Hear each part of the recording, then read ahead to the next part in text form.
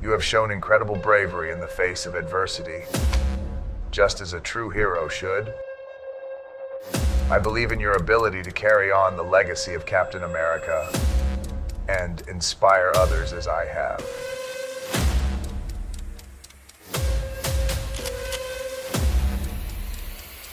Steve is gone. After the blip, the world was plunged into chaos. And I don't know how to solve this chaos without Steve.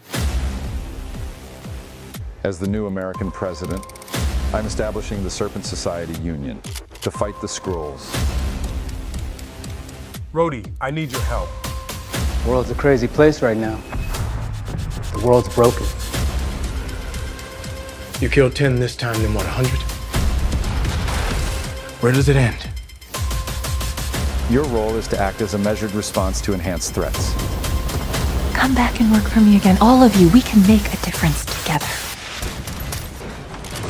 The world may be changing, but our principles remain the same.